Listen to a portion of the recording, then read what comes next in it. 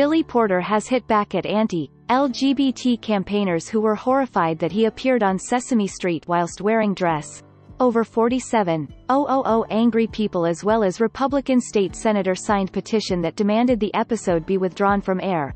The prominent gay actor, who went on the hit show wearing the glamorous tuxedo dress that he'd previously donned at the Oscars, shut the angry viewers down.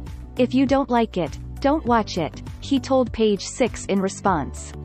Like, what about me singing with Penguin on the show has anything to do with what I'm doing in my bedroom? The Pose star snapped back. Conservative viewers were angry that the 50-year-old actor had appeared on the show wearing the iconic tux, dress which had been designed by Christian Siriano. The offended viewers claimed he was traumatizing children by wearing the outfit on the popular kids show.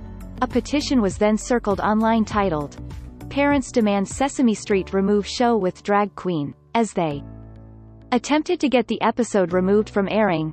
The petition attacks cross, dressing as disorder and suggests the show is being sexualized, the long-running children's program is one of the latest mainstream institutions to try to sexualize children using drag queens. And, parents are fed up. The petition jibes. The state senator of Arkansas, Jason Rapert, also fumed about the episode and even threatened to use his political influence to get the program off their screens. Taxpayer dollars being used. To promote the radical LGBTQ agenda, the politician raged.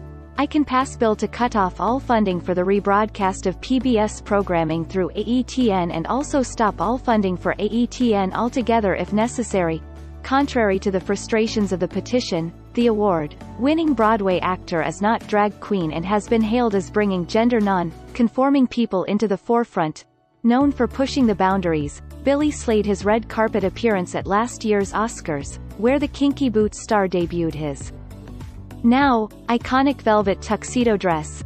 Sesame Street bosses are yet to reveal in which episode Billy will be hanging out with Elmo and the rest of the kids' show cast.